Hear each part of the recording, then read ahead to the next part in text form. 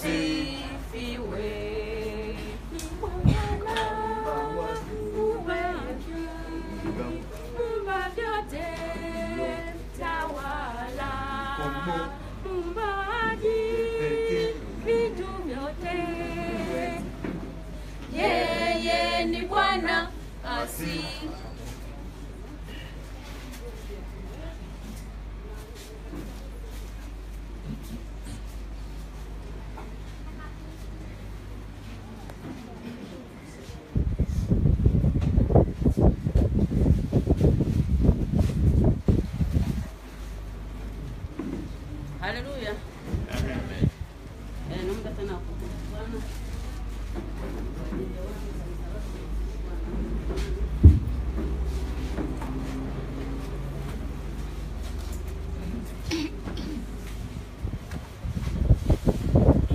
está a hombres, pues, este mano, que con, con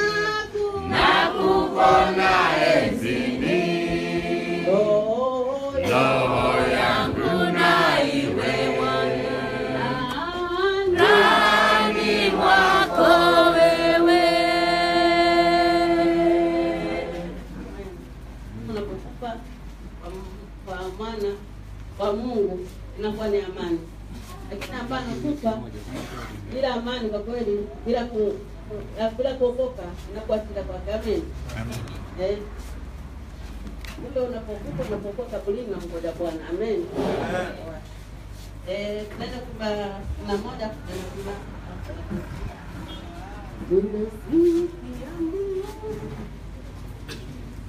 tumesikia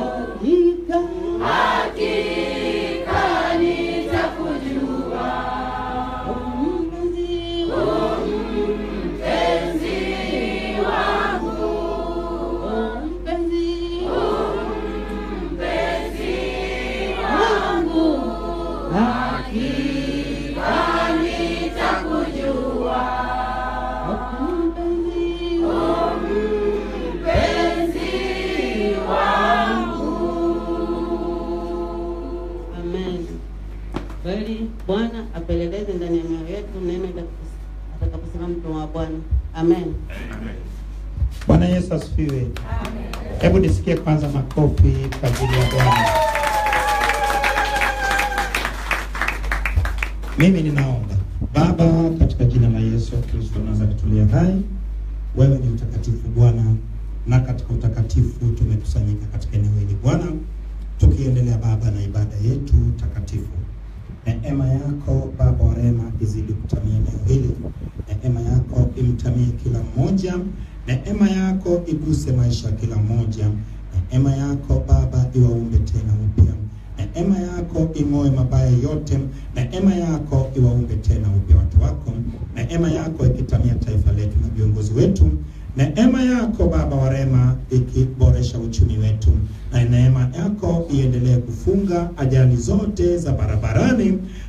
Na Baba wote tukipata kumaliza salama mwaka huu, na katika jina la Yesu Kristo naomba na wote tuseme amen.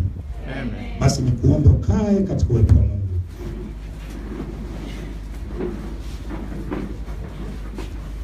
Bwana Yesu asifiwe. Bwana Yesu asifiwe. Amen. Bila shaka ni neema ya Mungu kuweza hata kufika siku ya leo ambayo ni siku ya ishirini na nne ya mwezi wa kumi na mbili. Wengi walitamani sana kuona siku ya leo, lakini hawajaiona. Wengi wametambulia mbele ya haki, wengine wako katika hali ya dhofli hali, wamelazwa katika hospitali, lakini umempa Mungu nini ili wewe uwe mzima? Je, umetenda nini liye bora hata wewe uendelee kuishi, lakini wengine watangulia mbele ya haki? Mimi nataka niseme nawe kwa ufupi juu ya je, tusherekee Krismasi mwezi wa kumi na mbili ama tusisherekee Krismasi mwezi wa kumi na mbili. Ninaomba uwe makini kwa sababu jambo hili limeleta utata mkubwa sana katika miaka mingi, maana hakuna mtu aliyejitokeza wazi wazi na kuthibitishia watu ya kuwa Yesu alizaliwa mwezi wa kumi na mbili, lakini nimetambua jambo moja katika kumtumikia Mungu ya kuwa Biblia, ili uielewe Biblia hii inakuwa ni neema ya Mungu. Ni Mungu ndiyo mwenye mamlaka ya kufanya mtu aelewe neno lake. Ndiyo maana msingi wetu kanisa la Agizo Kuu la Bwana wetu Yesu Kristo ni kutokuongezea kwetu, bali kutumia Biblia kuitafsiri Biblia. Ndiyo maana nilianza kusema ya kuwa Biblia imegawanyika mara mbili, Agano la Kale na Agano Jipya. Lakini Agano la Kale ikiwa inaanzia katika uumbaji mpaka mwaka wa kwanza kabla ya Kristo, lakini Agano la Pili inaanzia kwenye eh, inaanzia kwenye mwaka wa nne kabla ya Kristo na itakwenda mpaka mwisho wa dahari. Sasa u lazima ujue ya kuwa agano la kale ilikuwa ni maandalizi na ilikuwa ni kivuli ama picha ya agano jipya. Ndiyo maana vyote katika agano la kale vilielekeza watu kwenye ujio wa Yesu mara ya kwanza, na bila shaka Yesu alishakuja mara ya kwanza, na kilichobakia sasa hivi ni watu kuelekezwa kwenye ujio wa Yesu mara ya pili. Sasa mimi nataka niwe mwazi kabisa, maana kama ni duniani tunaonekana duniani kote. Mimi nataka nithibitishie dunia ya kuwa tunastahili kusherekea Krismasi mwezi wa kumi na mbili, haijalishi tarehe ishirini na tano, lakini tarehe ishirini na tano maana imechaguliwa tarehe hiyo, hata kama ilichaguliwa kwa mabaya. Paulo alisema jambo moja ajabu sana ya kuwa injili itahubiriwa hata kwa nini? Kwa ushuda. Ina maana injili hata kwa mabaya injili itahubiriwa, hata kwa mema injili itahubiriwa, hata kwa njia yoyote injili itakwenda. Umeona sasa, yawezekana mtu mwingine nia yake ni kuipotosha injili, lakini katika kutaka kupoteza injili ama kupotosha injili, hapo Bwana hutumia. Ndio maana unaona ya kuwa shetani alivyonuia kumuua Yesu akijua amemaliza kazi, hakujua ya kuwa Mungu anatumia mabaya kwa ajili ya ubora wako. Umeona ubaya wa ndugu zake Yusufu kumfanyia ilikuwa ndio njia sahihi. Ubaya wa shetani na wakala wake kumwangamiza Kristo ndiyo iliyekuwa njia sahihi, maana waliwaza mabaya kinyume na Yesu, lakini mabaya waliyewaza ilikuwa katika mapenzi ya Mungu Baba. Mabaya waliyewaza kinyume nawe ndiyo yaliyekufanya sasa hivi wewe umefanyika kuwa ni mwana wa Mungu. Wacha nikwambie wewe, pasipokuwa na mabaya uliyotendewa na ndugu zako, watu wengi wasingekuwa wanao nafasi ya kumkumbuka Mungu muumba wao na hata kumshukuru. Lakini uoni kama Mungu kumbe utenda kazi kupitia mambo mabaya kinyume na.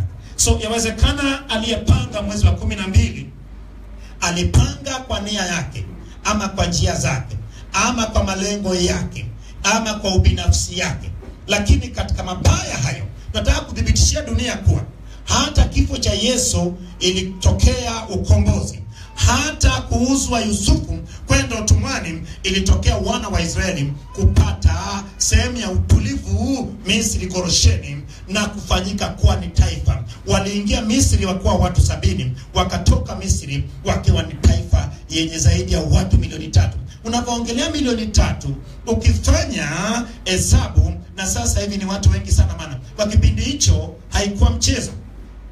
Watu milioni tatu haikuwa mchezo kwa kipindi hicho, lakini kwa sasa hivi ukileta kwa sasa hivi inawezekana ikawa hata watu bilioni.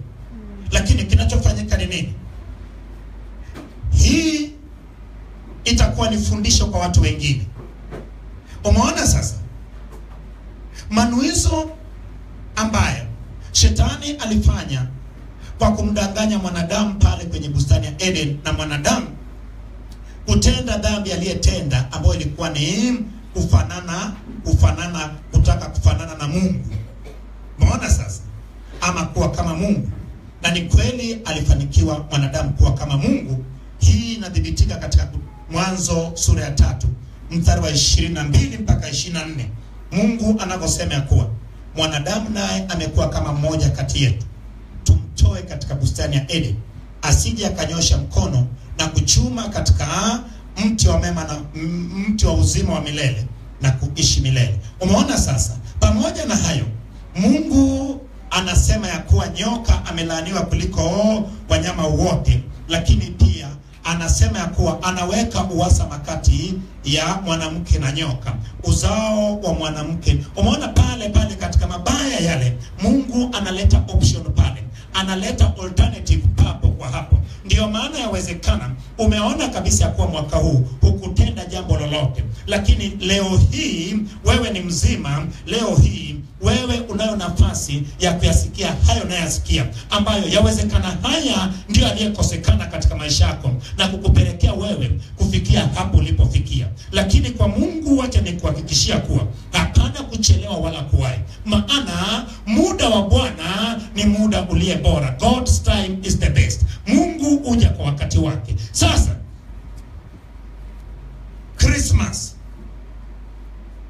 Christmas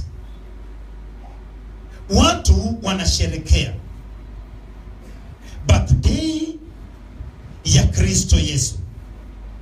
Yawezekana waliyetengeneza tukio hilo walitengeneza labda kwa lengo lao la kufanya biashara ama kuabudu nini, haijalishi. Lakini kwa mujibu wa sisi wana wa agizo kuu ambayo Mungu ametuinua katika kizazi hichi, ili tupate kunyosha palipopinda, kuyaweka sawa mambo yaliyekosa majibu. Bila shaka nataka tuambie dunia kuwa sisi tunasimama kwa kutoa moja kwa moja leo nini suluhisho ya kuwa kusherekea Krismasi mwezi wa kumi na mbili ni halali, na mtu anayetaka kuyajua haya aende pamoja nasi, ili kuanzia leo tatizo hili lianze kubakia kuwa ni historia. Bwana Yesu asifiwe. Amen. Sasa birthday ni nini? Hata mimi mwenyewe leo birthday yangu, lakini kama mimi naweza kusherekea birthday yangu, ina maana kusherekea ama ukumbusho wa siku niliyezaliwa, yawezekana ni miaka mingi iliyopita, lakini ni siku muhimu kwa sababu ni kumbukumbu ya kuwa mimi nilipata kuwepo siku hiyo. Je, kukumbuka siku ambayo mwokozi wetu mwasisi wa imani yetu ya Ukristo, Kristo Yesu kuzaliwa, aina shida. Kwa nini aina shida? Tuanzie kwenye agano letu, ambayo agano jipya ambayo ilifungwa katika kitabu cha Luka sura ya 22 mstari wa 20. Yesu anasema ya kuwa hiki ni kikombe cha agano jipya katika damu yangu itakayomwagika kwa ajili yenu. Lakini mwishoni anaambia kuwa fanyeni hivi kwa ukumbusho wangu, kama tunafanya ukumbusho wa ile agano mm, ambayo Kristo alifunga na wanafunzi wake kwa niaba ya wote wa agano jipya ambayo ni sisi, na kama tunashiriki meza ya Bwana kama ukumbusho wa ile agano letu. Je, ipo ubaya gani kusherekea birthday ya kuzaliwa kwake mwokozi wetu? Nione mkono hivi kwa mtu ambayo ananipata vizuri. Kama kuna pamba kwenye masikio itoe kabisa. Kama kuna chochote, naomba uwe makini, maana ni swali ambayo inasumbua watu sana. Sasa kama unavyojua, lazima kwanza turudi tujue kwa nini Yesu aje. Kwa nini Yesu aje? Ndio maana maona nimeanza kwenye kitabu cha Mwanzo sura ya tatu pale ambapo mpango mama ya Mungu kumuumba mwanadamu iliingia doa. Iliingiaje doa? Hebu tuone mpango mama ya Mungu kumuumba mwanadamu. Hebu soma kwenye Mwanzo sura ya kwanza na mstari wa 26 na 27, tuone lengo mama ya kuumba mwanadamu, alafu tuone doa hiyo inaingiaje, alafu ni kuonyeshe ya kuwa kumbe Yesu Kristo ni mpango mbadala baada ya ile mpango wa awali shetani kuiharibu. Hebu twende kwa jina la Yesu. Amen. Mungu akasema na tumfanye mtu kwa mfano wetu na kwa sura yetu, Mungu anasema afanywe mtu kwa mfano wao na kwa sura yao, ili iweje? wakatawale samaki wa baharini, ndege wa angani na wanyama na nchi yote pia, na kila chenye kutambaa kitambacho juu ya nchi. umeona sasa, katika uumbaji Mungu aliumba dunia. Dunia kabla ya uumbaji ilikuwaje? Pale kwenye Mwanzo sura ya kwanza kuanzia mstari wa kwanza inasema kuwa hapo mwanzo Mungu aliziumba mbingu na nchi, naye nchi ilikuwa ni ukiwa na utupu. Nchi ilikuwa ni ukiwa na utupu. Nchi ilikuwa ni ukiwa na utupu, na giza ikatulia kwenye kilindi cha uso wa maji. Roho ya Bwana akatulia juu ya maji. Naomba unisikilize vizuri. Hii dunia yote, hii nchi kavu haikuwepo. Ina maana maji ilikuwa imefunika nchi kavu yote, hapakuwa na sehemu kavu. Lakini muone sasa, tunaona ya kuwa Mungu anavyotaka kuumba, tayari giza iko wapi? Iko chini ya maji, kwenye kilindi cha uso wa maji. So baada ya hapo, roho ya Bwana tunaona ya kuwa imetulia juu ya maji. Roho ya Bwana kwa nini atulie juu ya maji? Ina maana kuna kitu roho ya Bwana alikuwa na dhibiti. Umeona sasa? Lakini sasa Mungu anaanza kuumba kusema kuwa siku ya kwanza Mungu anaumba nini? Inaanza kuwa mwanzo Mungu alizumba mbingu na nchi, na nchi ilikuwa ni ukiwa na utupu, na giza ikatulia kwenye kilindi cha maji, na roho ya Bwana akatulia juu ya maji. Kisha Bwana anasema na iwe nuru, ikawa nuru, ikawa vyema. Bwana anatenganisha nuru na giza, anafanya nuru kuwa mchana na giza kuwa usiku. Ikawa jioni, ikawa asubuhi, siku ya kwanza. Lakini sasa, hebu pata picha ya kuwa kinyume cha nuru ambayo ni giza haijaumbwa, ipo. Lakini kama nuru inaumbwa, alafu nuru inapewa kutawala mchana, hii giza ambayo inapewa kutawala usiku, mbona haijaumbwa?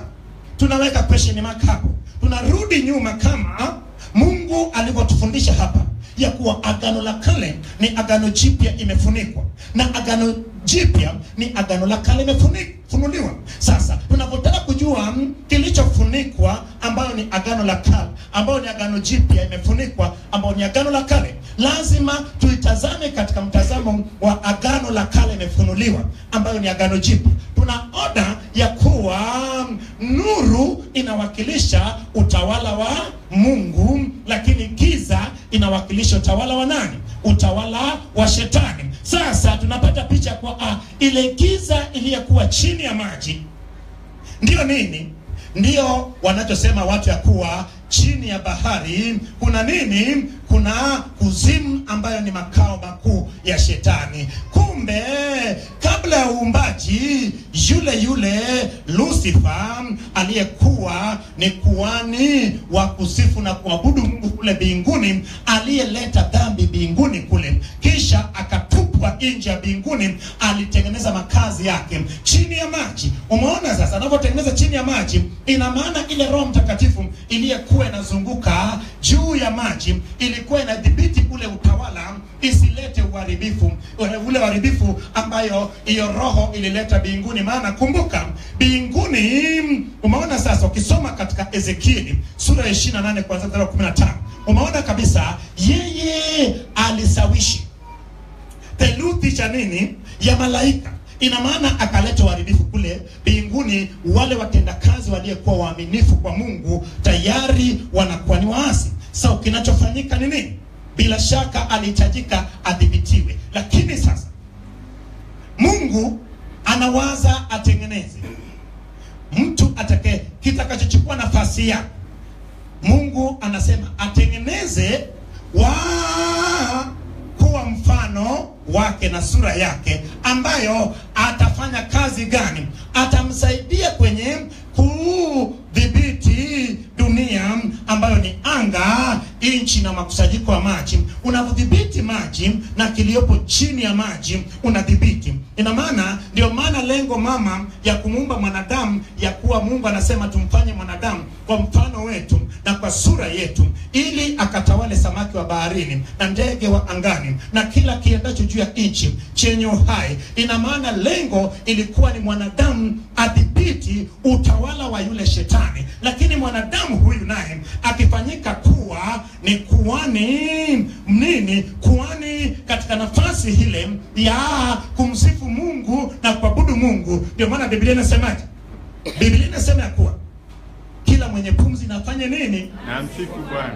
haleluya kila mwenye pumzi na msifu bwana kumbe ni kazi gani inayofanyika binguni ambayo hata sisi tutapata kwenda kuifanya binguni kazi inayofanyika binguni ni ya kumsifu na kumwabudu mungu ndiyo maana sasa kumbuka ya kuwa yesu akasemaje kwenye agano jipya?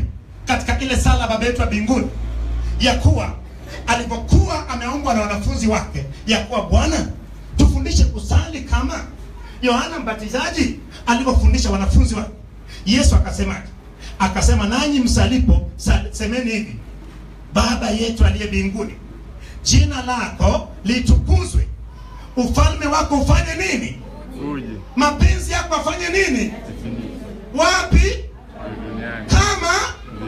Kumbe kama anavyosifiwa binguni na duniani hapa asifiwi so kinachofanyika bila shaka ile kazi ya kusifia iliyokuwepo mbinguni sasa ilitakiwa asifiwe hapa duniani na ambayo kumsifu mungu na kumwabudu ni silaha ya kumdhibiti na kumtawala nani? Kumtawala yule aliyeongoza sifa mbinguni lakini hatimaye alitamani kuwa kama mungu ndipo akatupwa chini. Lakini sasa anapotupwa chini tumeona sasa ya kuwa mungu anataka sasa atakaye mdhibiti so tunaona kabisa ya kuwa mungu sasa anafanya nini? Anafanya dunia. Na anapofanya dunia nisikilize. Mimi namshangaa mungu. Mungu ni daktari wa madaktari. Ni fundi wa mafundi. Ni mkurugenzi wa wakurugenzi. Ni yote katika yote. Yeye akajua kabisa ya kuwa nitamuumba mwanadamu mwishoni. Lakini kwanza nitengeneze mazingira before god sending you somewhere god will make the environment to be favorable to you. Mungu kabla hajakutuma sehemu yote atatengeneza mazingira yote. Ndio maana kama mungu hajamtuma musa kule misri kwanza anatengeneza mazingira sema kuwa ndugu yako aruni atakuja kufanya nini? Kukutana na wewe ama kukulaki unapotoka jangwani. Umeona sasa? Sasa bila shaka mungu anafanya nuru kwanza. Lakini nikuulize kwa nini mungu aumbe nuru? Kwa nini mungu aumbe nuru? Watu wa mungu neno ni nuru. Ndiyo maana huangaza katika njia zako. Na nuru bila shaka inawakilisha utawala wa mungu. Siku ya pili mungu anaumba sasa. Anaumba nini? Mungu anaumba mbingu. Anaumbaje mbingu? Nimekwambia nchi yote ilikuwa imejawa na maji.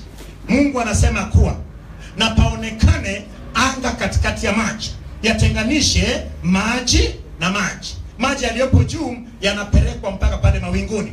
Mawingu yale unayoona ni maji so chini kabaki imefunikwa na maji yote lakini pakawepo na na anga hapa katikati ambayo ikatenganisha maji ya chini na maji yaliyopo juu. Mungu analiita anga ili nafasi hiyo ambayo ilianzia kwenye maji inayofunika nchi na maji yaliyopo katika ambayo ni mawingu analiita mbingu. Inakuwa jioni inakuwa asubuhi siku ya pili kisha mungu anasema ya kuwa maji yaliyopo juu ya nchi yakusanyike pamoja ili paonekane pakavu. Mungu sasa anaumba nchi sasa nchi kavu. Anaumba mabara. Unaposema nchi kavu unasema mabara tuliye naye saba. Na kumbuka ya kuwa maji yanavyokusanyika panaonekana pakavu ambayo ndiyo mabara haya saba. Kisha mungu anasemaje anaita nchi anaita pakavu nchi na yale makusanyiko ya maji anaita nini? Bahari. Wacha nikwambie kitu kimoja. Bahari inazunguka duniani kote. Ndio maana kuna bahari ngapi?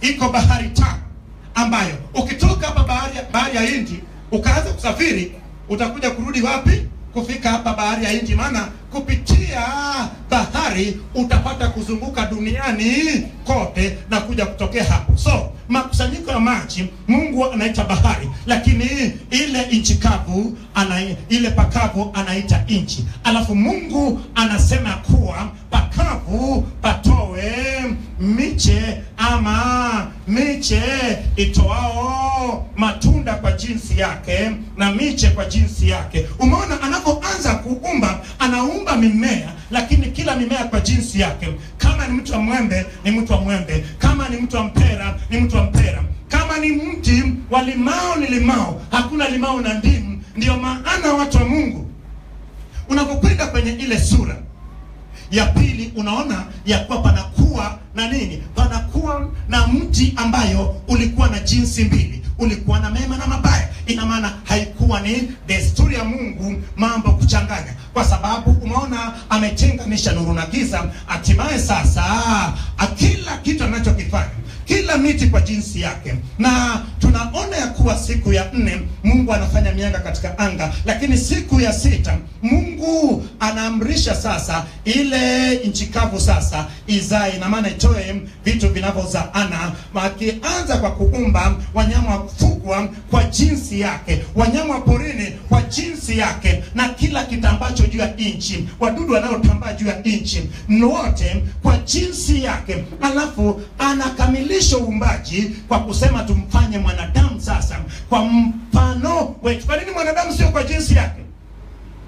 Mwanadamu tulifanywa kwa mfano wa Mungu, sio kwa jinsi yetu.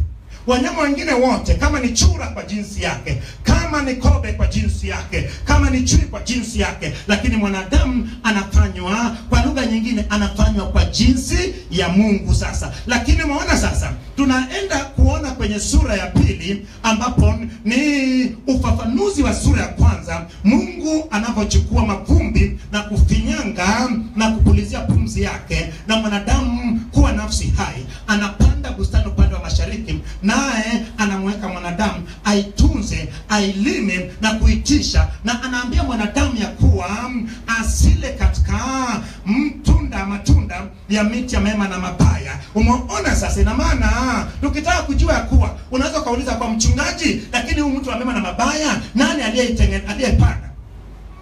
Tunakwenda kwenye agano la kale, imefanya nini? Imefunuliwa.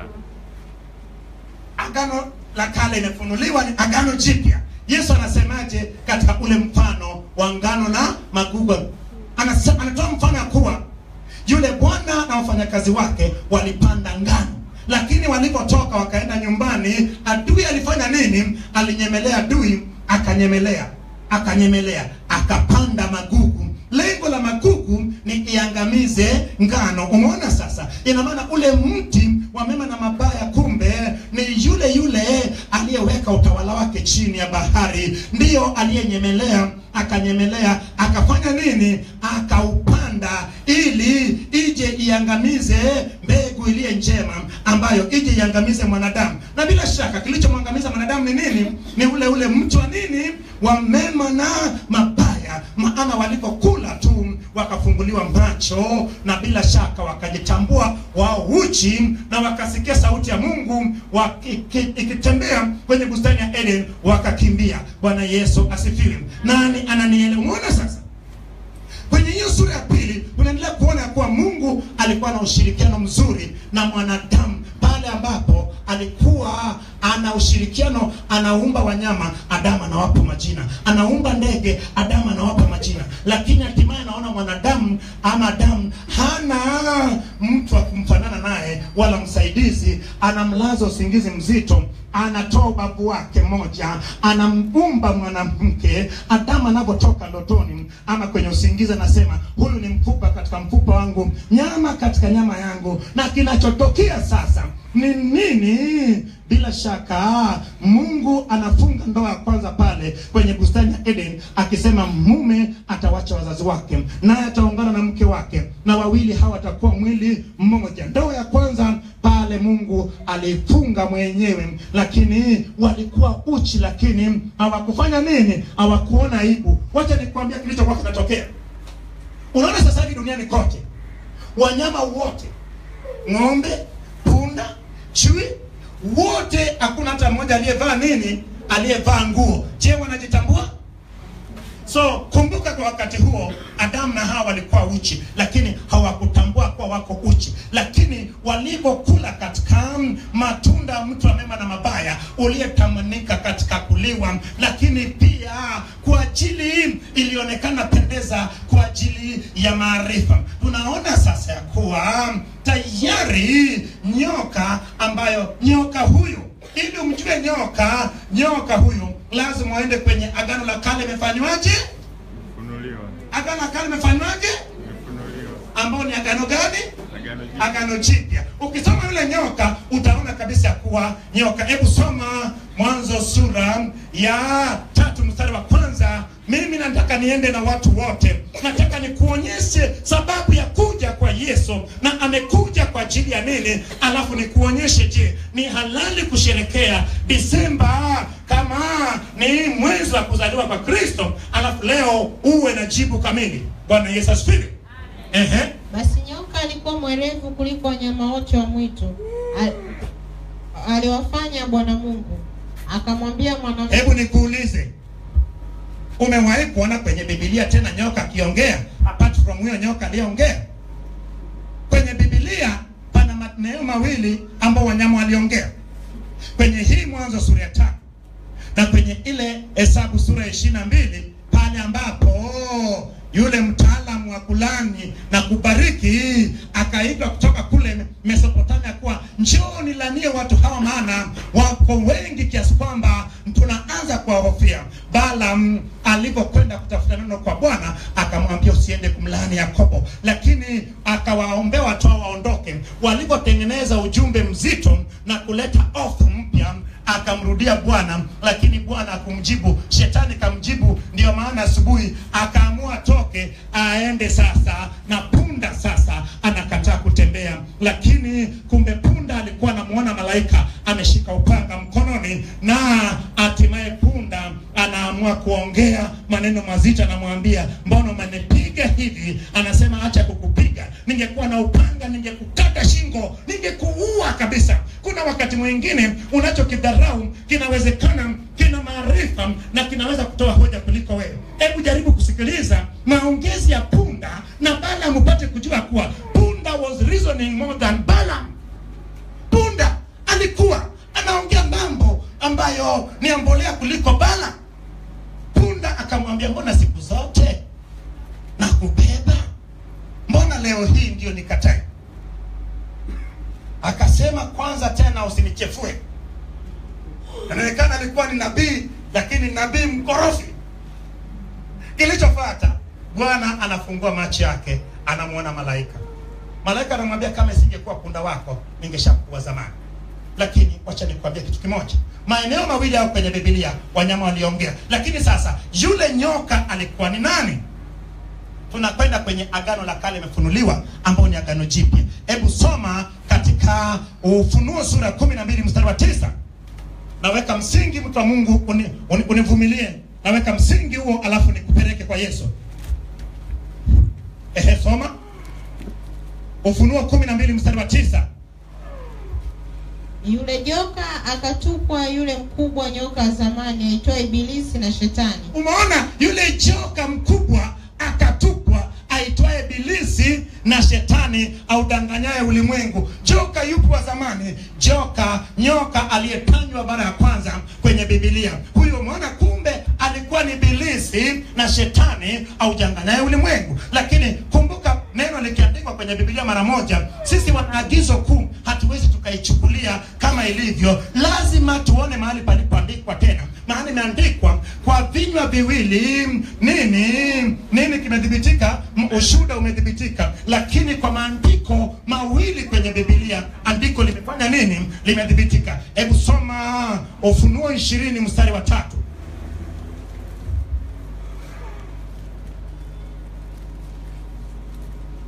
ufunuo sura ya ishirini mstari wa tatu. Akamtupa katika kuzimu, akamfunga, akatia muhuri juu yake, asipate kuwadanganya mataifa tena hata ile miaka elfu anzia mstari wa pili. Akamshika yule joka, yule nyoka wa zamani, akamshika yule joka yule nyoka wa zamani. Umeona sasa, hiyo ndiyo agano la kale imefunuliwa. Tunapata maana ya agano la kale kwenye kwenda kwenye agano jipya. Sasa tumeona ya kuwa mm, mahusiano kati ya Mungu na mwanadamu inaharibika pale pale na Mungu anasemaje sasa? Hebu soma Mwanzo sura ya tatu mstari wa ishirini na mbili. Mungu anavunja ile mahusiano kwa kumfukuza mwanadamu, maana kumbe mwanadamu atakiwi kuwa kama Mungu. Mwanadamu anatakiwa kuwa kama kuwa mfano wa Mungu. Ndio maana sasa hivi nikianza kujikweza na kuchukua sifa na utukufu wa Mungu, ina maana mimi nataka kuwa kama Mungu. Hakuna anayetakiwa kuwa kama Mungu, inatakiwa tuwe mfano na sura ya Mungu. Sema mimi Mimi ni mfano mfano na sura ya Mungu Baba. Mimi sio kama Mungu. Umeona sasa? Ndio maana nafasi ya Mungu mwachie Mungu, na hapo ndipo shetani anashikilia watu. Shetani atakufanya utajiona wewe unaweza, wewe ndio mwenye uwezo, wewe ni kila kitu. Hatimaye unaona kama wewe ndio wewe. Nini? Unataka kuwa kama Mungu. Hebu soma sura ya tatu mstari wa ishirini na mbili mpaka na tatu.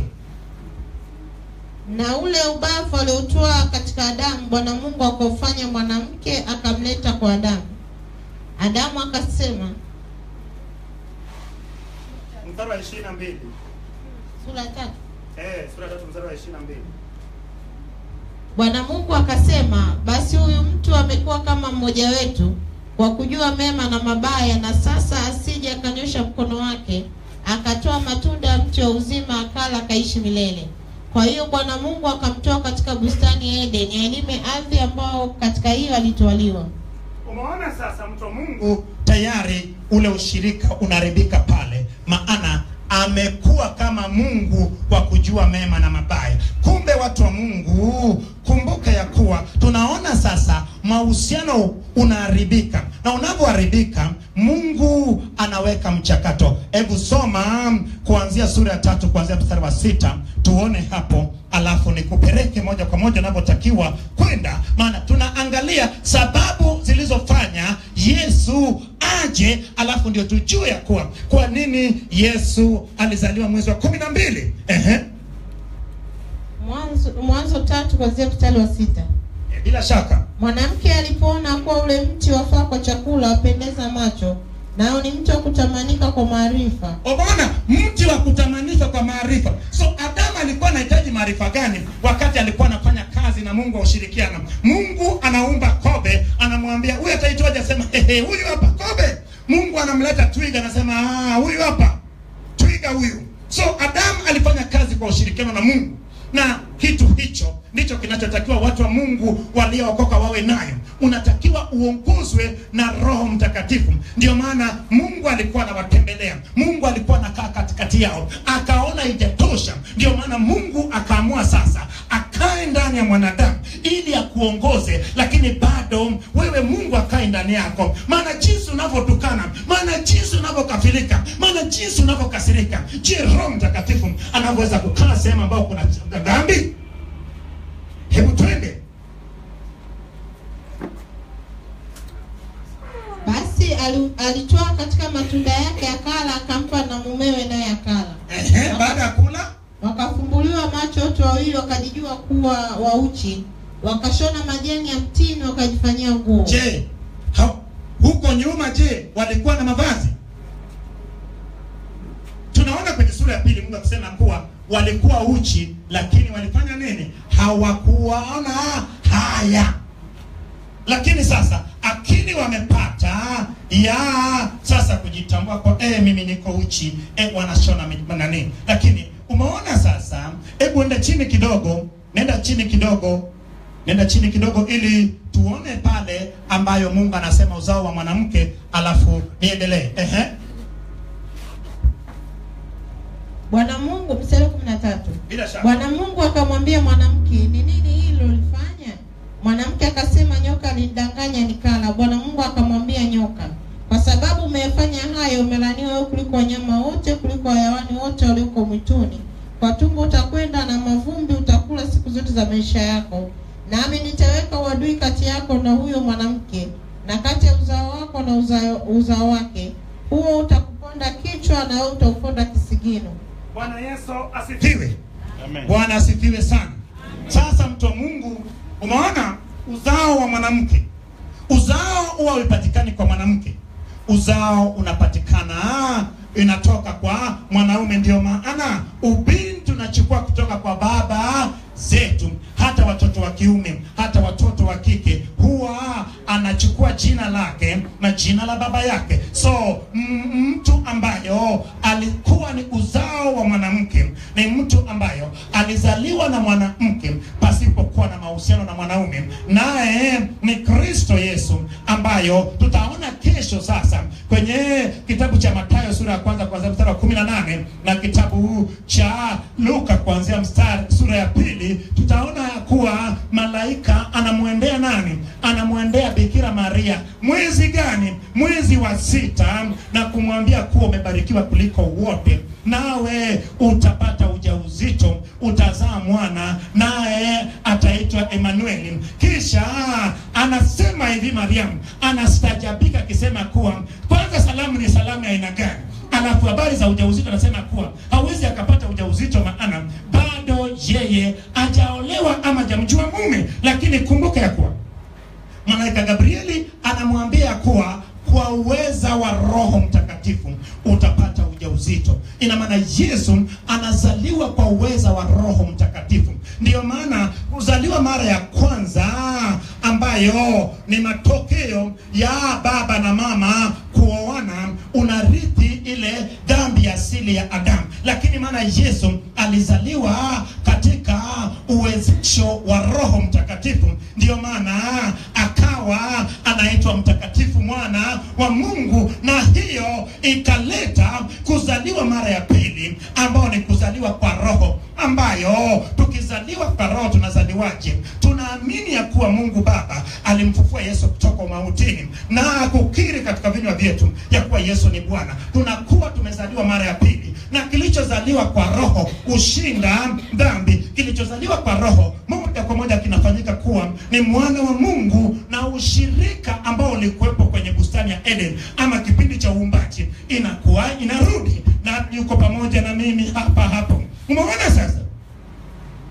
Bila shaka ile mahusiano iliharibika kwenye bustani ya Eden, tunaona ya kuwa Mungu anafanya mpango mbadala ambayo ni sasa tunaweza kumfikia sasa, sio moja kwa moja, tunamfikia sasa kupitia Kristo Yesu. Ndiyo maana akaleta sasa uzao mara ya pili, kuzaliwa mara ya pili. Maana kuzaliwa mara ya kwanza tayari Adamu alishaleta dhambi. Kwa nini inaandikwa Adamu na kwa nini sio Hawa? Ni kwa sababu ukisoma sura ya pili, Mungu anamfanya anamuumba Adamu, na anapomuumba Adamu anamweka kwenye bustani ya Eden, anamwambia aitunze, ailime na kuitisha. Lakini pia Mungu alimpa Adamu maagizo ya kuwa usile katika matunda ya katikati ya bustani ya Eden ya mema na mabaya. Na tunavyoona kwenye sura ya pili, tunaona kwa Mungu anavyoita Adam Adam.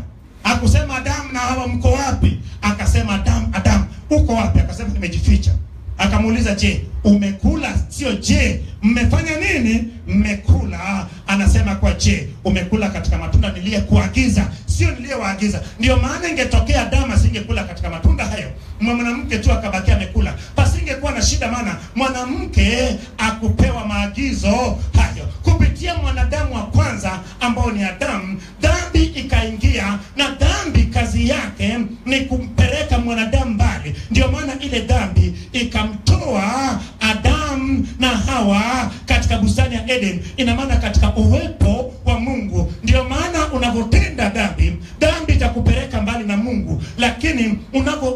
maisha matakatifu ya wokovu baada ya kuokoka, bila shaka inakuunganisha na Mungu na mahusiano na ushirika unarudi pale pale. So Mungu anafanya kuzaliwa mara ya pili iwepo, ili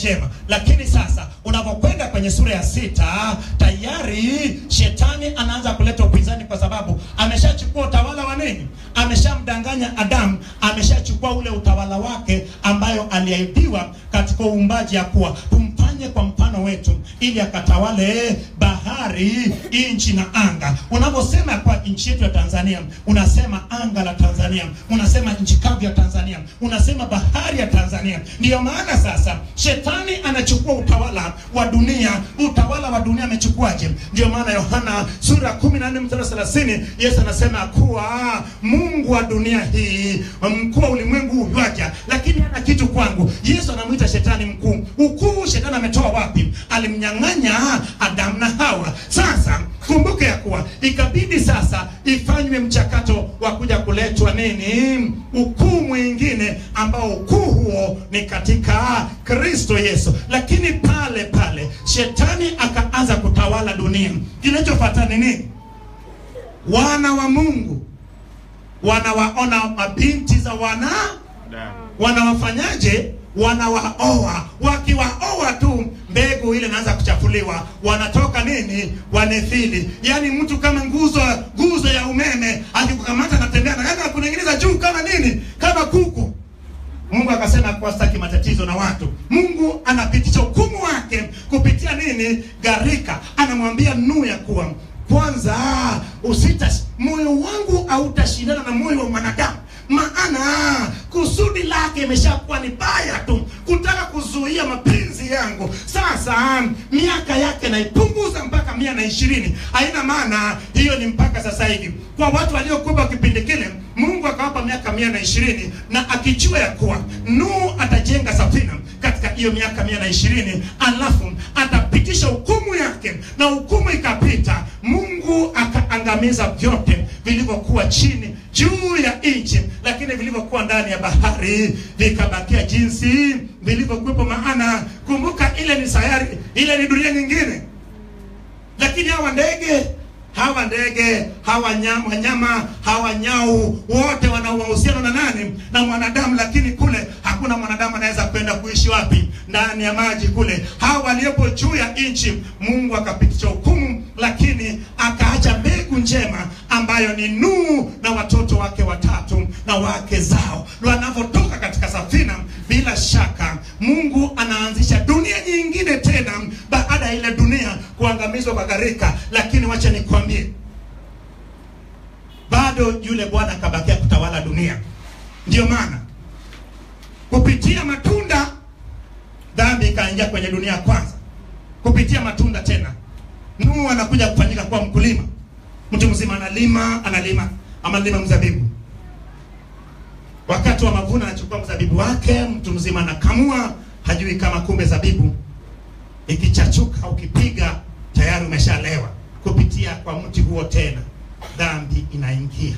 Dhambi inavyoingia bila shaka wacha nikuambia kuwa dhambi hiyo ilivyoingia mungu anaamua sasa maana alishafanya nini? Alishafanya agano na wanadamu ya kuwa hataangamiza nini? Dunia tena kwa gharika. Anaamua sasa aanze kutoa mtu mmoja pale. Katika uzao wa Nuhu pale anaamua kuchukua Shem na anaendelea anachukua Tera anachukua Ibrahim moja kwa moja akija mpaka kwa Yesu. Nani atakayenitajia ukuu wa Yesu Kristo kuanzia kwa Ibrahim mpaka Yesu? Haraka.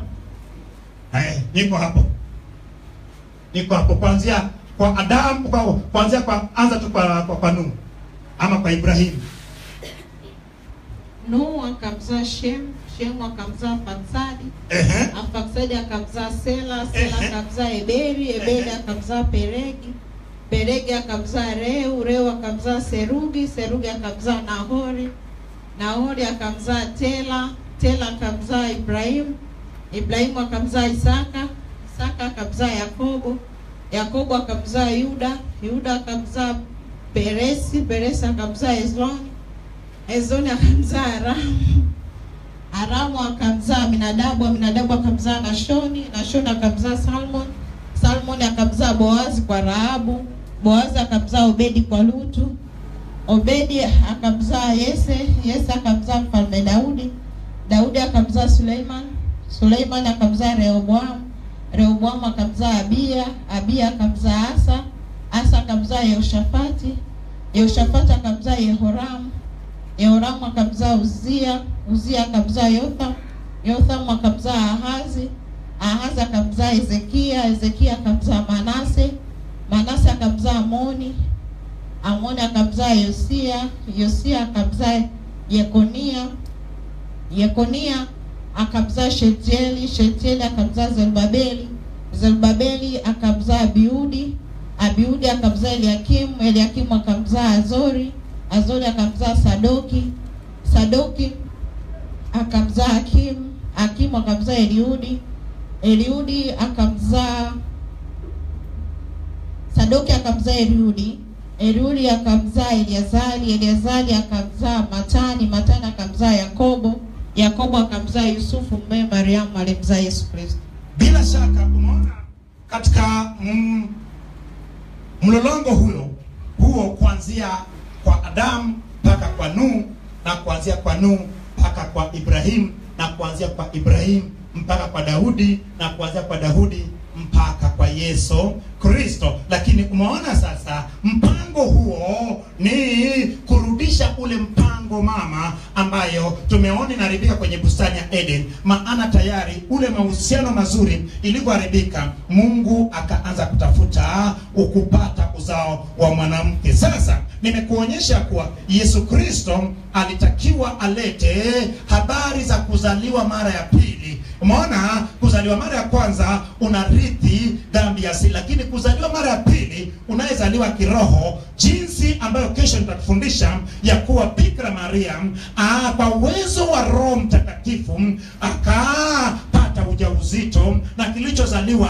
kiliitwa mtakatifu mwana wa Mungu. Lakini umeona sasa, na wewe ni mtakatifu mwana wa Mungu unapookoka, imeandikwa kuwa wote waliyempokea Kristo Yesu, Yohana sura ya kwanza mstari wa ishirini na mbili mpaka wa nne, ya kuwa wote waliyempokea Kristo wamefanyika kuwa wana wa Mungu. Sema mimi Mimi nimempokea Kristo, nimempokea Kristo, nimefanyika kuwa nimefanyika kuwa mwana wa Mungu. mwana wa Mungu. Hebu jitazame, look at yourself.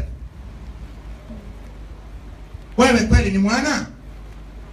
mbona ongea yako ni, michenga chenga mbona ongea yako figisu figisu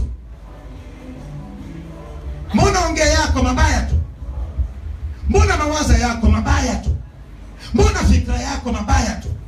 Mungu anawazia wema na wabaya sawa. Ndio maana anawaangazia jua. Ndio maana anawanyeshea mvua. Lakini wewe mbona maadui zako unatamka wafe? Mbona ndugu zako unataka wafe? Mbona wewe ni mchumbe wa gano jipya? Lakini wewe hauko katika mapenzi ya mungu. Wakati wewe ni mwana.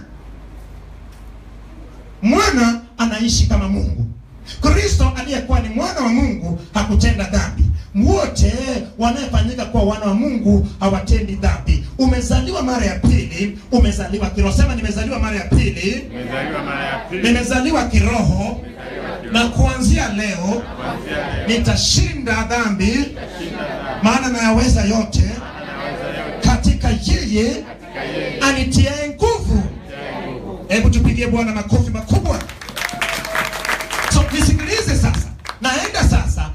nini tusherekee kuzaliwa kwa yesu mwezi wa kumi na mbili.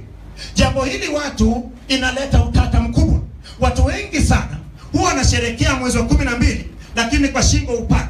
Wengine wakidiriki kusema ya kuwa ni kweli yesu hajazaliwa mwezi wa kumi na mbili. Kwa taarifa yako mimi nakuhakikishia hivi. Jesus was born in december. Yesu alizaliwa mwezi wa kumi na mbili. Naomba twende pamoja. Naomba twende pamoja sasa nikiwa nakaribia kumalizia. Duniani pana kalenda aina mbili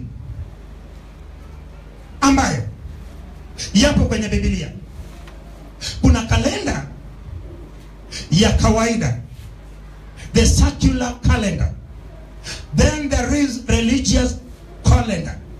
Kuna kalenda ya kawaida alafu kuna kalenda ya kidini.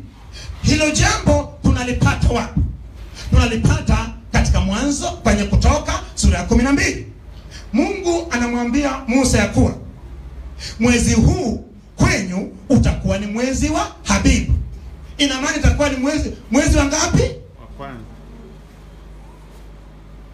lakini sasa hivi ukiangalia kwenye Biblia utaona imeandikwa mwezi wa Nisan.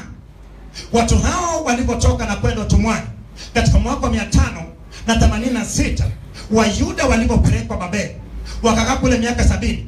Wengi walifariki lakini watoto wao waliojifunza lugha ya kikardayo.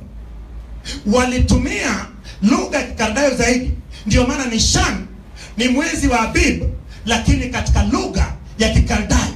Ukiona Habib ama nishan jua kabisa ni mwezi wa ngapi? Mwezi wa kwanza ambayo kwetu ni mwezi wa tatu mwishoni ama mwezi wa nne mwanzo. Sasa nisikilize. Unapohesabu sasa ya kuwa mwezi wa kwanza ni mwezi wa tatu mwishoni ina maana tofauti tulio nayo nao ni miezi mingapi? Miezi mitatu. Lakini sasa unavyohesabu hivyo ukianzia mwezi wa nne mwezi wa kwanza bila shaka mwezi wa sita ambayo ilikuwa ni mwezi wa sita katika kalenda ya kidini. Maana bikira maria alikuwa amekaa katika torati. Yusufu alikuwa amekaa katika torati. Torati ilijengwa katika msingi m, torati ilijengwa katika msingi ambayo ni kutoka misri na wakiwa nchiani mpaka wanapata torati mpaka wanaingia kanani mpaka walipokwenda utumwani ingawa lugha ilibadilika kidogo lakini torati ilibakia pale pale. Sasa mwezi wa sita ya kidini ya wayahudi inaangukia mwezi wa tisa.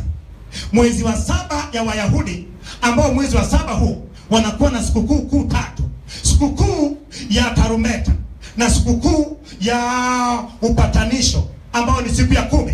Ya tarumbeta ni siku ya kwanza ya mwezi wa saba. Ya uh, upatanisho ni siku ya kumi ya mwezi wa saba. Lakini na sikukuu ya mabanda ambayo inaanzia siku ya kumi na tano mwezi wa saba. Mwezi wa saba kwao ni mwezi wa kumi kwetu. Mwezi wa sita kwao ni mwezi wa tisa kwetu. Sasa hebu sabu na mimi sasa. Na yesu alizaliwa kipindi gani?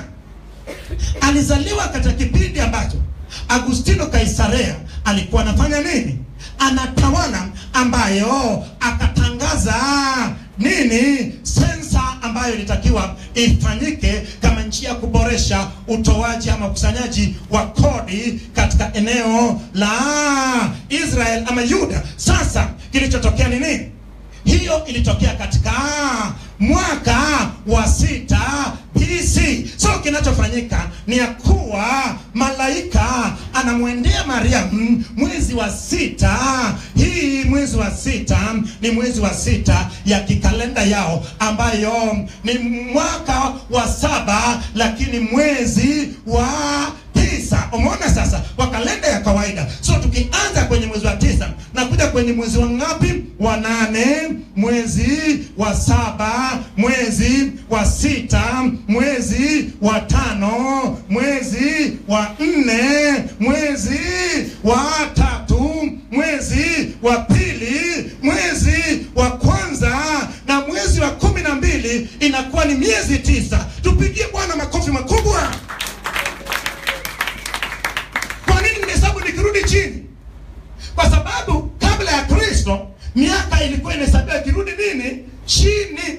Baada ya Kristo ndio miaka sasa inahesabiwa ikienda juu.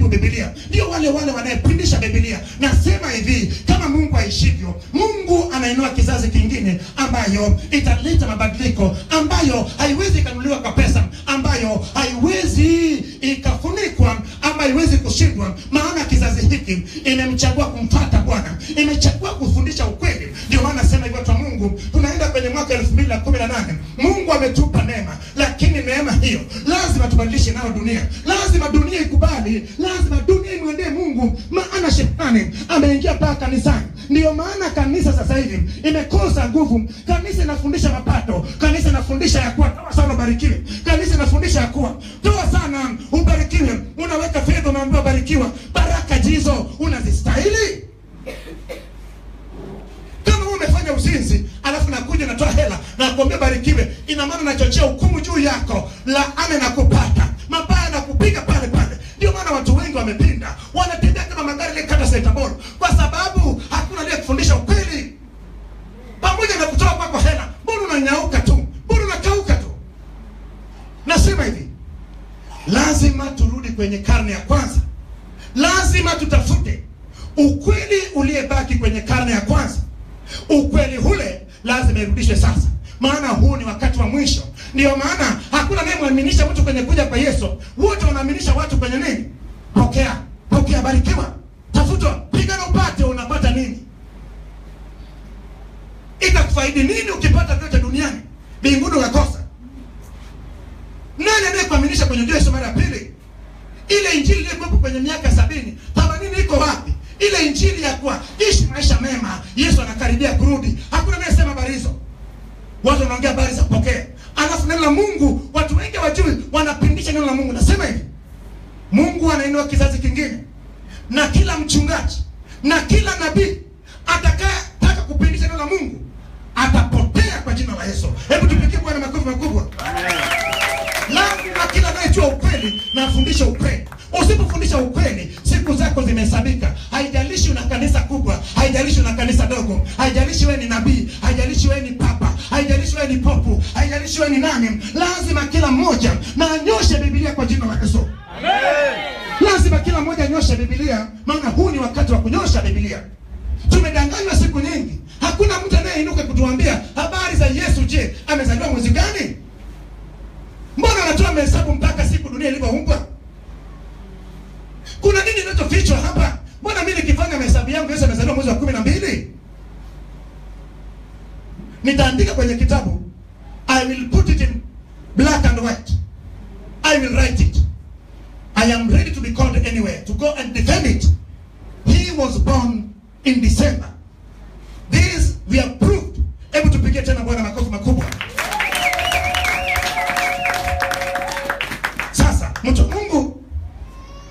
umeona ya kuwa kunao kila sababu ya kusherekea kesho. Mi nataka niombe. Nasema hivi haya unayefundishwa hapa rudi tena ukae kwenye facebook kaa kwenye youtube kaa kwenye vyombo vingine ambayo tunapatikana yasikilize tena maana. Dunia inatafuta suluhisho. Watu bla bla zimejaa nyingi sana. Mapokeo yamejaa mengi sana. Lakini mimi nasema hivi yesu anakaribia kurudi. Yesu anakaribia kurudi unajiandaje wewe? Mimi naaminisha watu kwenye ujio yesu mara ya mbili. Mbili. wewe je? Tunakwenda kwenye elfu mbili na kumi na nane. Je tuendelee kunyamaza shetani abdanganye watu?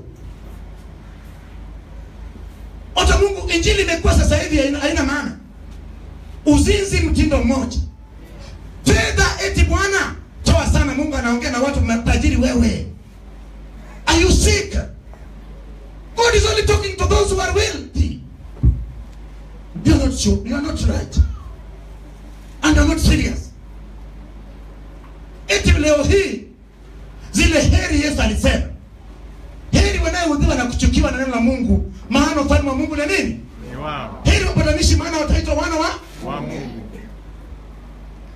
basi wazigeuze waseme heri matajiri maana mungu ataongea na wao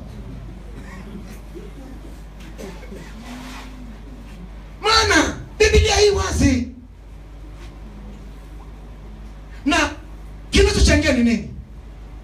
Wewe kusoma bibilia mstari moja moja utapotoshwa tu. Lazima kila mtu aweze kusoma bibilia kuanzia mwanzo mpaka mwisho. And that is the only way. You will know the word of god. You cannot understand the book of leviticus without you understanding the first two books. If you don't understand the book of genesis and the book of exodus let me assure you that you won't understand the book of uh, leviticus. For you to understand the book of deuteronomy you must understand the first four books. And this is factual. If you think that i'm not right then come and challenge me. I am ready to defend it. I am ready to be questioned by anybody. I'm saying this. This is what the world is looking for. Because they have been deceiving people all around. They don't allow you to understand this.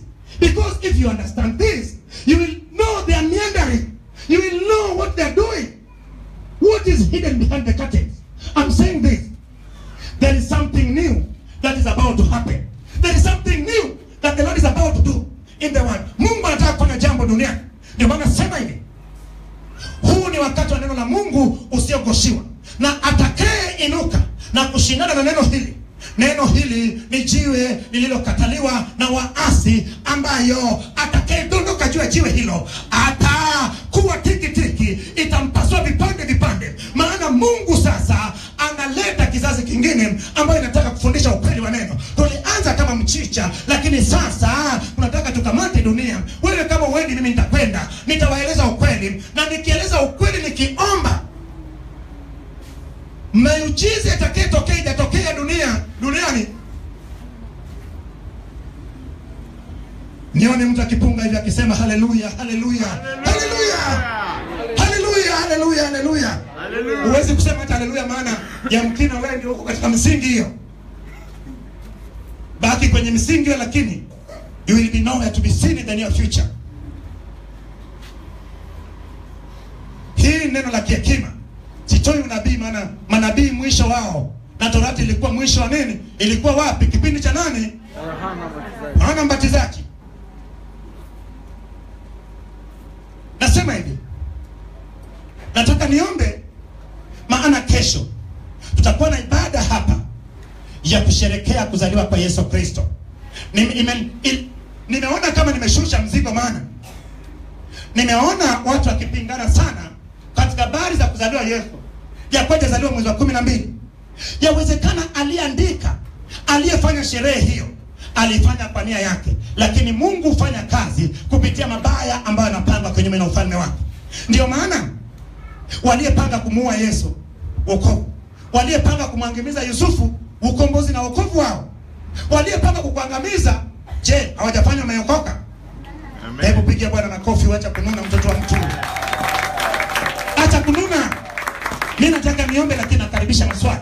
Najua yawezekana na una maswali, nataka niulize maswali, na anayetufuatilia pia arushe maswali kwenye mid- social media, mimi nitajibu. Nasema hivi, huu ni wakati wa kufundisha Biblia kuanzia mwanzo mpaka mwisho.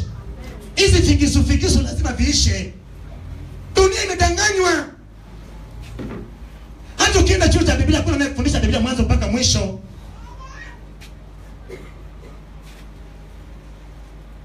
Mwingine anafundisha Biblia chuo cha bibilia anavuta na sigara. Theologian. Mwingine anapinga. Nasema hivi. Ukitaka kumjua Mungu kupitiliza uwezi. Musa alitaka kumwona Mungu jinsi alivyo. Mungu akamwambia kwa kuna Bwana aliyeniona kaishi. So kuna kiwango Mungu ametuwekea ya kumjua kumjua. Ukitaka kwenda zaidi ya kuwa alizaliwa kuzaliwa yukoje, huwezi kujua. Kuna kiwango ametuwekea kwa kuweza kumjua. Nasema hivi, kuna watu wanaosoma Biblia kwa ajili ya kupinga. Some are reading the Bible critically. Some are reading the Bible religiously. And how are you reading the Bible? Are you reading it critically or religiously? Mwingine asoma ili apate kukupinga. Mimi hao ndio nayewataka, hao ndio nayewataka, hao hao mimi ndio nayewataka.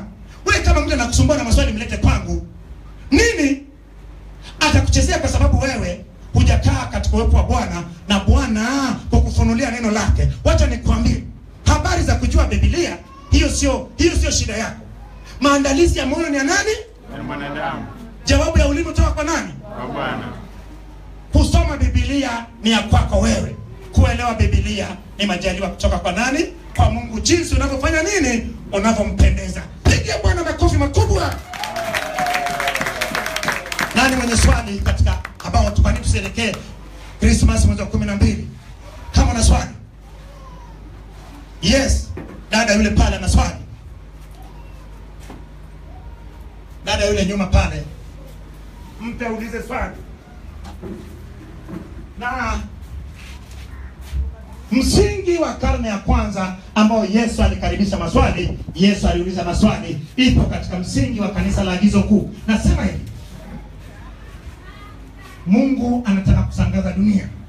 Mimi nasema hivi, haijalishi tutakuwa wengi kiasi gani, lakini watakekaa katika msingi huu na kwenda kuambia dunia kinachohitajika kwa dunia. Hebu uliza swali. Bwana Yesu asifiwe. Amina. Niliuliza swali kuhusu swala la katuni kama hizi. Kwa sisi tuliookoka, yafaa kukaa kwenye kanisa yetu, wanasema kwamba tunamwabudu au ni nini? Yani hai- haieleweki hiyo Mimi Huu ni mchoro. Hebu nitolee moja hapo. Hii ni kitu ambacho imetengenezwa kwenye kampuni kwa ajili ya kuuzwa. Je, kama hii utakiri kukaa hapa na wewe usivae nguo hiyo uliyevaa, ivue utembee uchi. Kama nguo hiyo umevaa kama pambo, hii hapa ni pambo, sio pambo. Mwambie aliyekuambia ya kuwa hii ni pambo. Mavazi tunayonunua tunakuta yametengenezwa kama hii, ndio? Jinsi unavyopamba mwili wako ndivyo na sisi tumepamba nini kanisa letu. Weka hapo pambo, piga Bwana makofi makubwa. Mtu mwingine mwenye swali? Eh, swali. zile picha za Yesu ambazo kuna watu wanaimani ndio Yesu. Sio jamaa ile mmoja Yesu. Eh. Sasa mmoja kwa club, kula zake. Watu wanambia Yesu wewe, sio Yesu tu. Bila shaka hata kama alikuwa anakula biele, lakini wacha nikwambie kitu kimoja. Paulo akasema hata kwa usuda, su- hata kwa nini injili itahubiriwa? Hata kwa usuda. hata kwa usuda injili itahubiriwa. Kumbuke kwa huyo mtu pamoja na aliact ile picha, lakini aliongozwa na Roho Mtakatifu. Maana ukisoma kitabu cha Luka na ile picha ni fotokopi. Maana acha nikwambie, kuna ujumbe unayetokana na matendo. Ni sawasawa, utaona wakati mwingine wa taarifa ya habari, mtu amekaa pale pembeni aongee, lakini unaona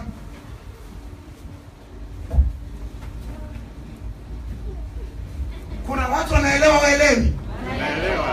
Sisi hatutaki kujua kuwa anaku- anakula bia, anakula nini. Tunachojua ni nini? Ile movie ya Yesu, bila shaka ukiifuatilia ukasoma na kitabu cha Luka, bila shaka unakuwa na added advantage. So kinachofanyika ni nini? Picha ya Yesu, picha inafikisha ujumbe, ni sawa sana Biblia imeandikwa so ule ujumbe unatakiwa ndio ufike, lakini unahitaji ku, yani kutazama kilichochorwa pale. Kilichochorwa pale haina maana, lakini ujumbe ule ambao umebebwa na picha hiyo, nadhani hicho ndicho muhimu katika maisha ya mtu aliyefanya nini, aliyeokoka. Vinginevyo mavazi tunayevaa imechorwa, dada huyo amevaa mavazi yaliyochorwa, basi na dada huyo asivae. Nimeona mkono sehemu gani? Ehe, eh. Biblia inasema hivi. Ni mgumu tajiri kuishi ufalme wa mbingu. Kusikia ufalme wa mbingu kwa tajiri kama na mtunda ndani ngamia kupita kwenye tundu la sindano. Naomba tafsirie hiyo utajiri. Bwana Yesu asifiwe. Yesu alikuwa na maana gani? Yesu alikuwa na maana hii.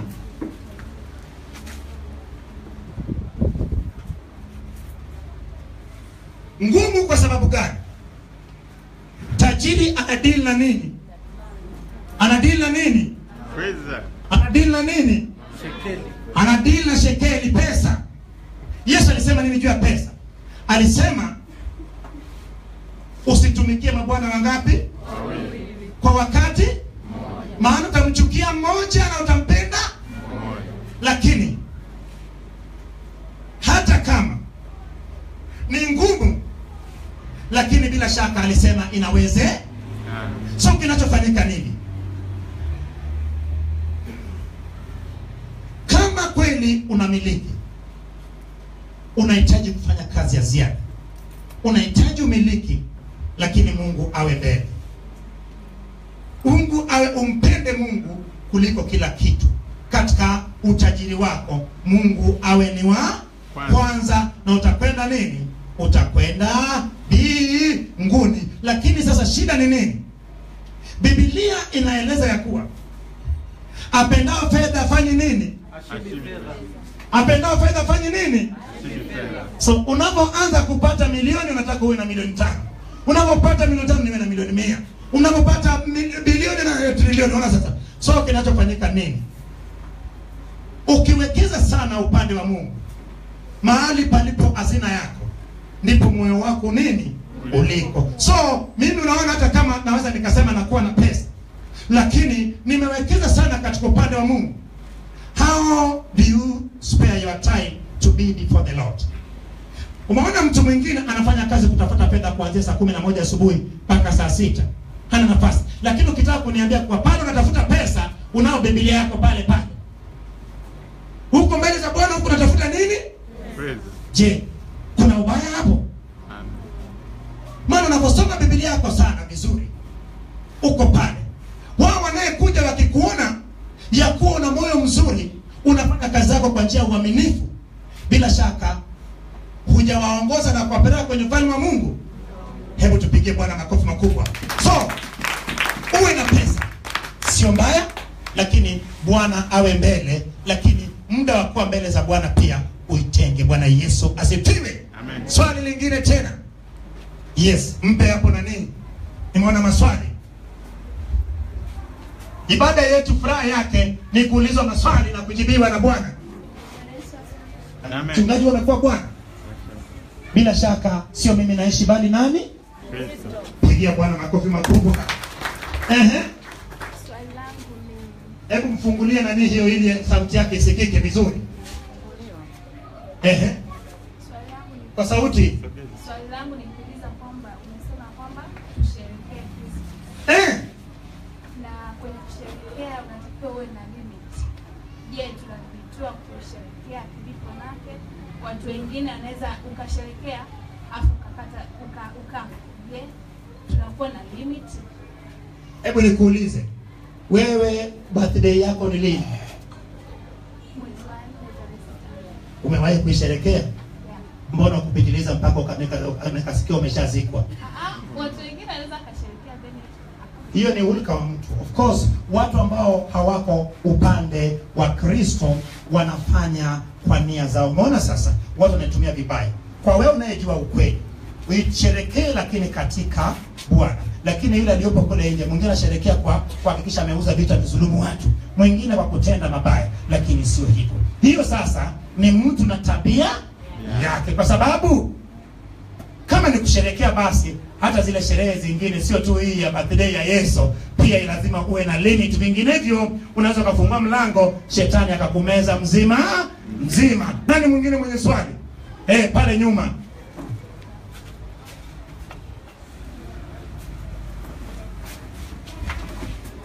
Katika Biblia kuna andiko inasema simwache mwanamke mchawi aishi.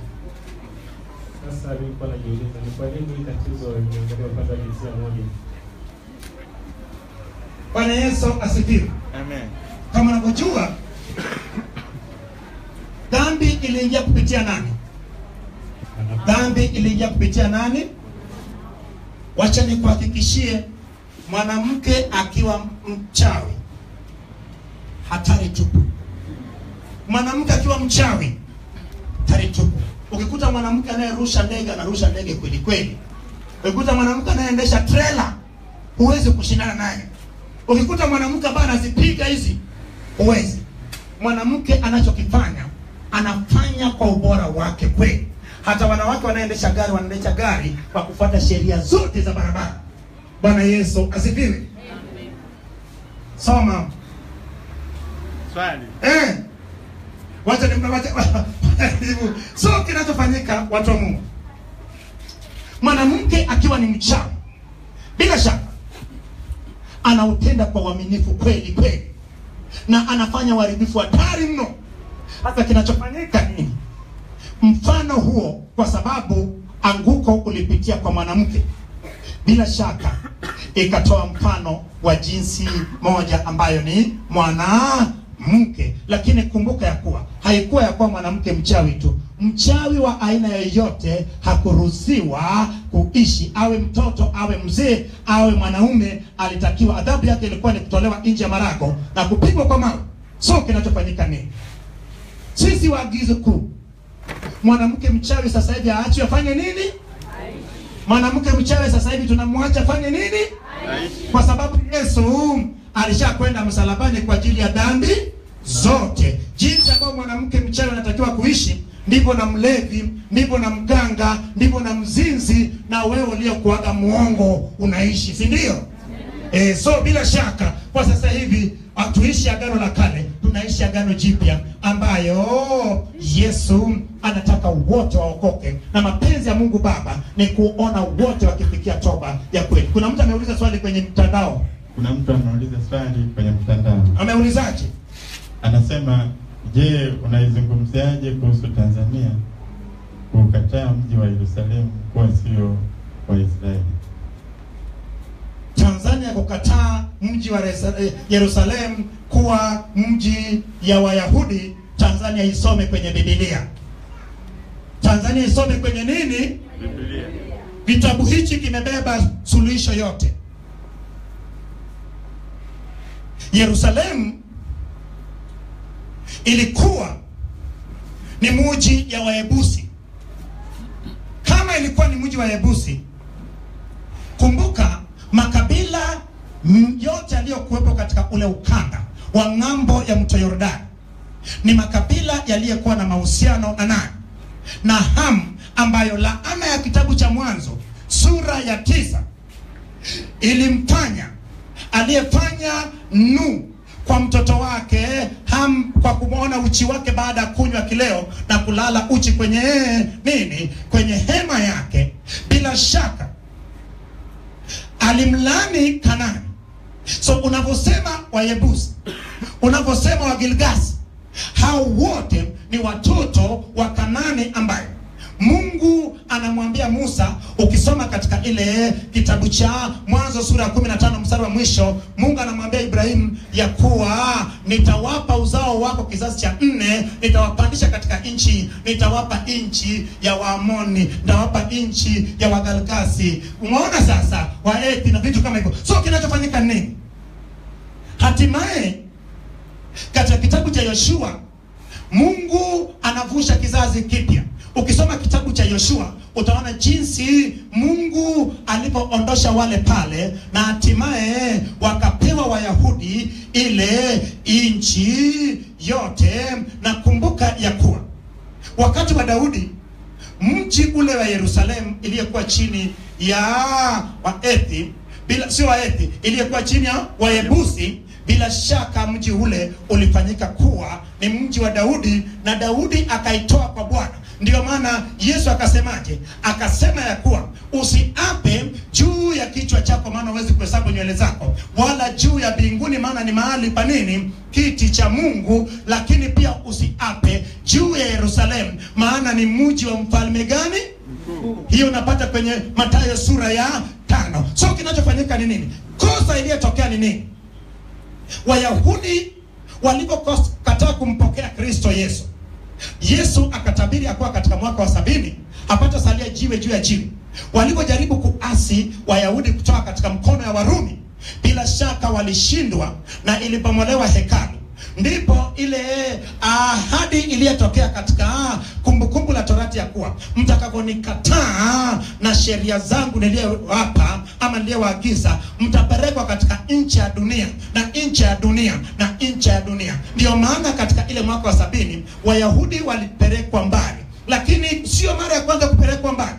Walipelekwa mbali Babeli, Mungu aliwarudisha. Walikuwa wameahidiwa ya kuwa watakapomrudi Bwana atawarudisha katika nchi yao. So bila shaka walivyomkataa Kristo Yesu katika ile mwaka wa sabini ikavunjwa Yerusalemu, nao wakatawanywa katika mataifa yote, lakini Mungu aliahidi ya kuwa atawakusanya. So ilivyofika katika vita vya pili vya dunia, waliangamizwa sana kupitia yule Hitler akiua wengi sana kule Poland, Wayahudi karibu milioni sita. Ndipo Wayahudi wakamrudia Bwana, wakaamua kwenda katika Umoja wa Mataifa na, na walibeba Biblia wakasema ya kuwa tunataka kurudi katika nchi yetu. Wakapewa nchi yao, lakini wakakuta tayari kuna watu wameshakaa pale katika ile. Lakini kimsingi mtu akitoka katika shamba lake akaenda mbali, ina maana shamba hiyo na kibali cha kuichukua, akirudi umpishi. So kinachofanyika ni nini? Walipokwenda pale, pakaanza kuwepo na malumba. Malumbano katika mwaka wa mia moja uh, elfu moja mia tisa na sitini na saba of course mataifa mengi walikusanyika kutaka kuifuta Israeli katika uso wa dunia, lakini wajiulize ya kuwa Israeli ilivyoinuka na kupigana na mataifa yale katika zile siku sita, mfalme yule rais wa Misri akufa Nasa, lakini wanaamini ya kuwa sasa hivi watakwenda kinyume na Yerusalemu. Mungu na Israeli, Mungu hatainuka, Mungu hatainuka. Kipindi kile ilikuwa ni taifa changa, lakini iliwashindaje mataifa yale? So ndio maana nasema hivi, mimi kwa mujibu wa Biblia nasema hivi, ukisoma utajua, lakini anaye ukisoma katika ile Zaburi mia na ishirini na mbili utaona kabisa Mungu anasema kuwa anayekwenda kinyume na Israeli, bila shaka soma pale uone Mungu amesema atafanya nini.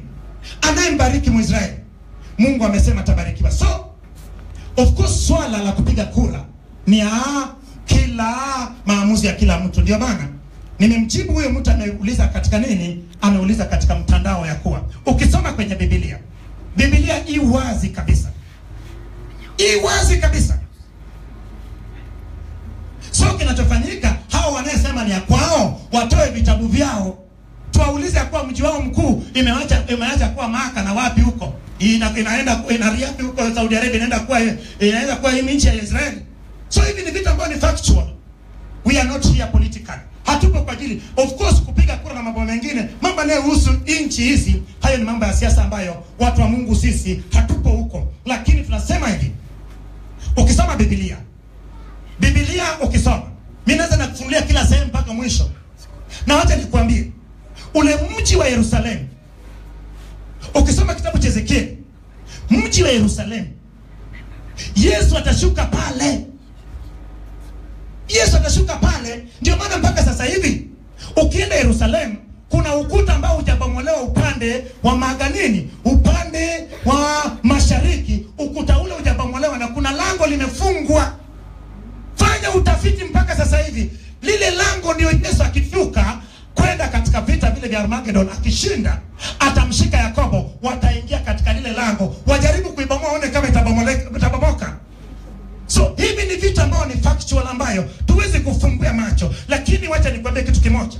Najua jambo moja kuwa yesu atakavyoshuka atashuka pale. Yesu atakuwa katika makazi yake pale. Maana ule ni mji wa mfalme nini? Mkuu akikataa sasa hivi yesu atakapokuja watapisha watapisha. Watapisha. pigia bwana makofi makubwa. Amen. nani mwenye swali la mwisho? Nimejibu mtu ambayo alikuwa wapi? Alikuwa kwenye alikuwa ameuliza kwenye mtandao.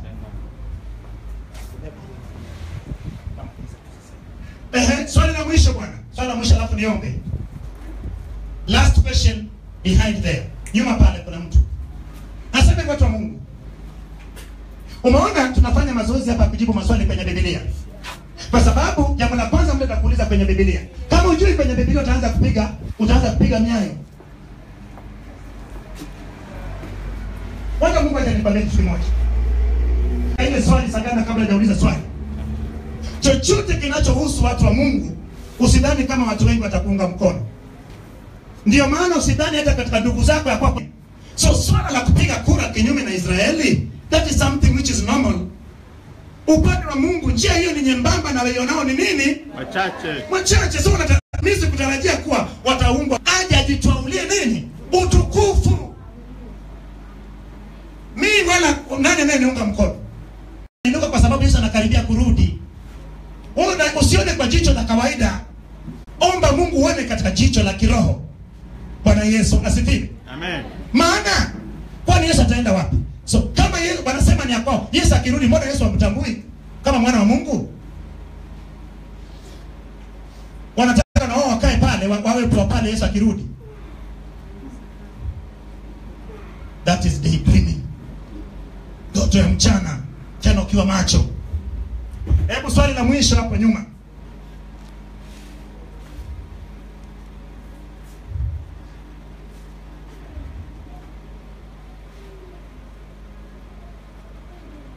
Uliza kwa sauti kaka. muda wangu nataka niombe Nimesoma katika kitabu cha Kutoka ule mstari wa kwanza mpaka mstari wa tatu.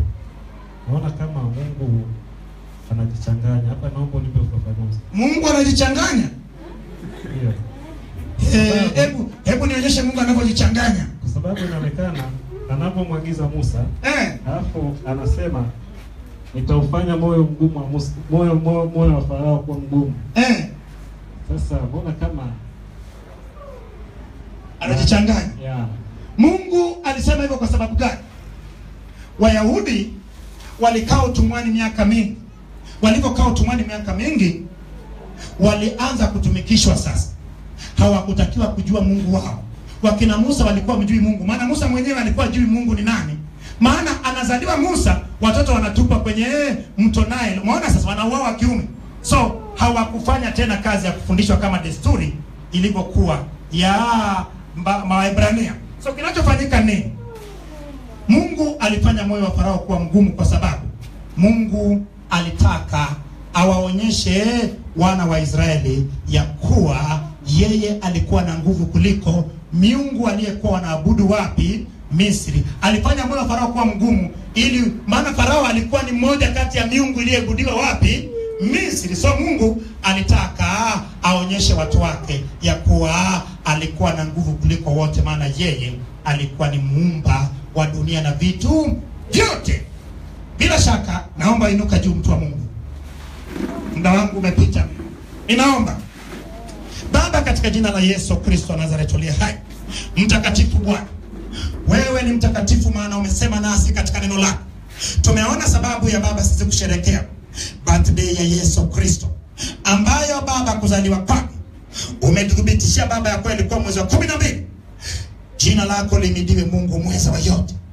Baba, jambo hili kama ulivyotufunulia, wafunulie watu wote ili wapate kuelewa Baba.